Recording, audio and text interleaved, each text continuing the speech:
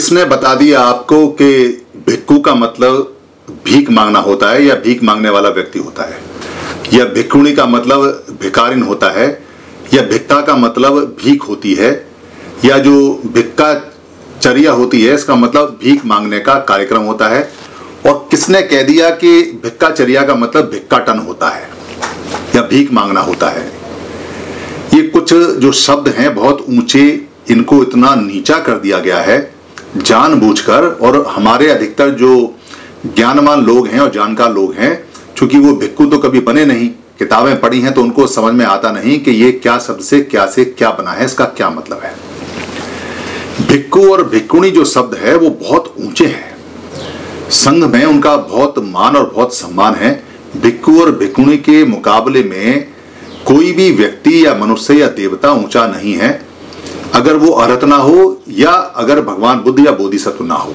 यानी बोधिसत्व भगवान बुद्ध या जो बच्चे बुद्ध हैं, अगर उनके बाद नंबर आता है तो अरहत भिक्खु का आता है या भिक्खु। बहुत ऊँची अवस्था है।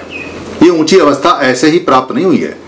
कोई भीख मांग कर प्राप्त नहीं हुई है। कहीं कोई भिक्खु या भिक्खुनी भीख माँगता आपको दिखाई देगा नहीं।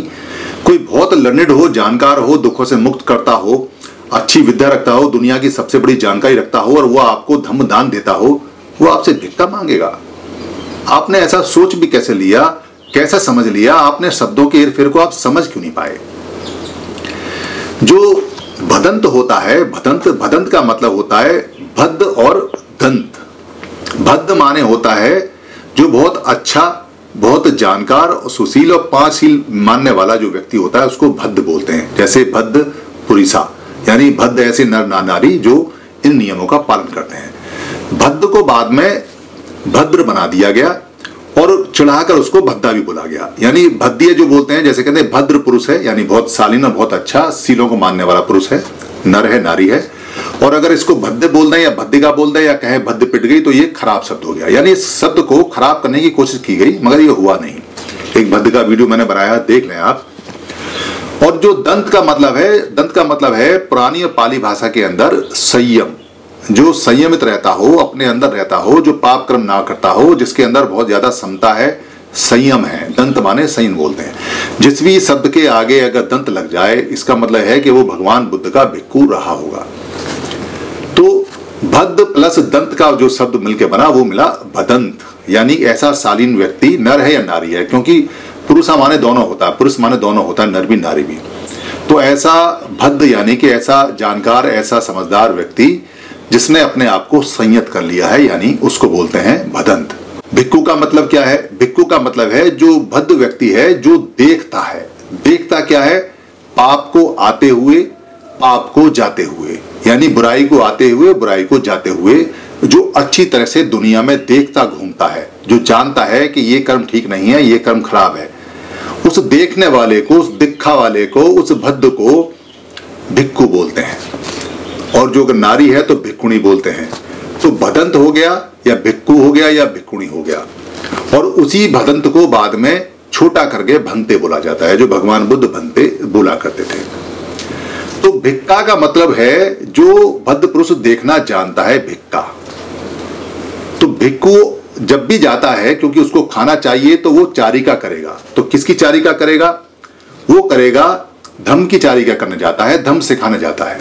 तो पहले धम सिखाएगा, उसके बाद में आपसे भोजन लेगा। भोजन लेने को बोलते हैं पिंड दान या पिंड चारिका। चारिका माने घूमना, और पिंड माने जो होता है भोजन या आहार होता है। पिंडी माने होता है झुंड, आहार का झुंड। या गोला, क्योंकि वहाँ चावल ज़्यादा मिलता था और चावल के गोले बना के खाए जाते थे हाथ से। चम्मच तो थी नहीं तो हाथ से चावल का गोला बना के और मुँह में रख के खाया जाता था। उसको बोलते थे पिंडी और पिंड बोलते थे आहार को। आज भी साउथ के अंदर हमारे जितने भी पुराने लोग हैं, वो चावल को हाथ से गोला बना के और खाते हैं, सटक जाते हैं। ये वही पुरानी परंपरा है, पिंडी की पिंडी पात की। तो उसको बोलते हैं पिंड दान। यानी पिंड दान करना है। जब कोई देता है दान माने देना पिंड माने भोजन तो पिंड दान हो गया। तो भिक्कू कभी भी पिंड दान के लिए नहीं जाता। भिक्कू जब भी जाता है, वो भिक्का के लिए जा, जाता है। यानी कि धम्म सिखाने के लिए जाता है, देखने के लिए जाता है कि आचार व्यवहार कैसा है। उसका नियम है कि वो जाके दरवाजे के बाहर खड़ा हो जाएगा। बोलेगा नहीं मुँह से कुछ भी। आपने देख लिया और आपने धर्म लिया। तो अच्छी बात है, अगर आपने धर्म नहीं लिया या नहीं देखा तो वो अगले दरवाजे पे चला जाएगा। अमूमन चूँकि उनकी छवि इतनी ऊँची और इतनी गजब की होती थी कि लोग उनको देखते ही नमस्कार करते थे, क्योंकि उनके पास ज्ञान होता था, वहाँ से ज्ञान मिलने वाला है और जीवन में सफल होने वाला है। जीवन को सफल करने वाला ज्ञान है।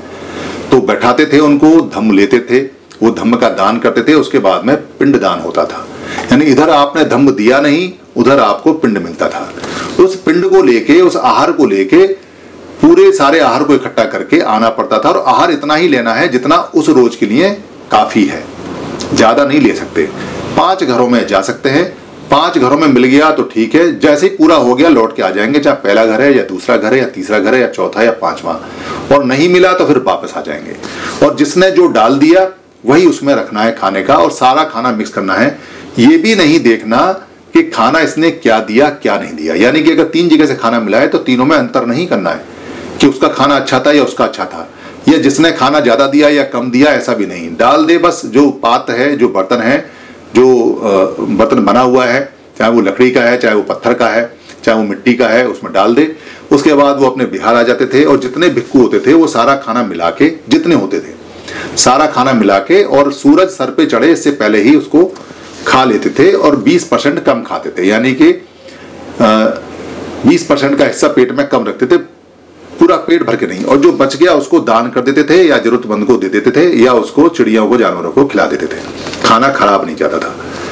तो ऐसा जो भगवान बुद्ध ने जो नियम बनाए उसमें कहीं भी भीख मांगने का नहीं है। यानी इसको मांगना नहीं बोलते। मांगने को बोलते हैं याचना। याचना होता है मांगना। लोग बेसिकली बुद्ध से मांगते हैं। क्या मांगते हैं? धम्म मांगते हैं। और बुद्ध जब तक भिक्खु आपको, जब तक भिक्खु आपको धम्म नहीं देगा, जब तक आप उससे याचना नहीं करेंगे।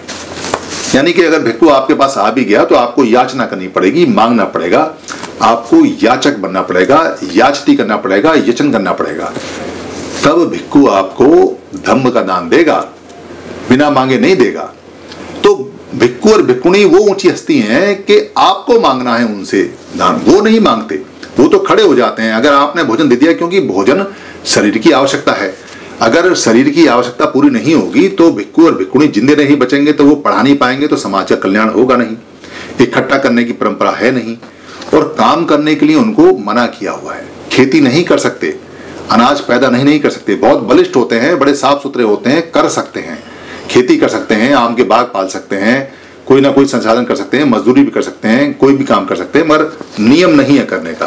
क्योंकि अगर खेती में या बिज़नेस में या व्यापार में अगर वो लग गए तो फिर वो मनुष्य के कल्याण की जो विद्या है, उसको नहीं सीख पाएँगे और वो खुद बुर्द हो जाएगी। फिर व्यापार में लालच भी आ सकता है, व्यापार के काम में बिज़ी हो सकता है। इसलिए अगर वो बिहार में भी रहेंगे तो बिहार में सब्ज़ी नहीं उगा सकते। बिहार में रहेंगे तो बिहार में फल फ्रूट के पेड़ लगाएँगे तो उनको लालच आ जाएगा। अपने आप उग के ठीक है किसने दे दिया, ठीक है, मगर वो नहीं करेंगे। ये उनका नियम है।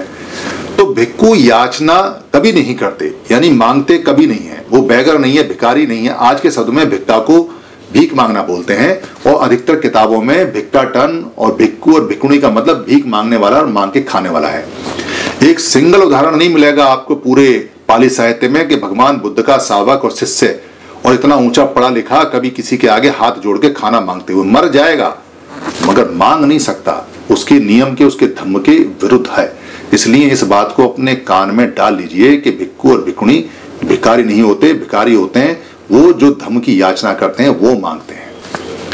भिक्खु उनको देता है और जब उनको धम सिखाता है धम बताता है, बदले में पिंड लेता है आपसे, आहार लेता है। आपकी मर्ज़ी है, आपने धम सीखने के बाद आहार देना है या नहीं देना है। नहीं दोगे तो शिकायत भी नहीं करेगा। आप पे गुस्सा भी नहीं करेगा, आपसे कुछ कहेगा भी नहीं, उसके मन में लेस मात्र भी ये बात नहीं आएगी कि धम्म सिखाया और पिंड नहीं मिला। उसको पिंड मिल जाता है, ये कमाल की बात है कि कोई भिक्खू आज तक की हिस्ट्री में भूखा नहीं मरा। लोग उनको दे देते हैं, बड़े समझदार और बड़े लड़ने तो पढ़े लिखे होते हैं।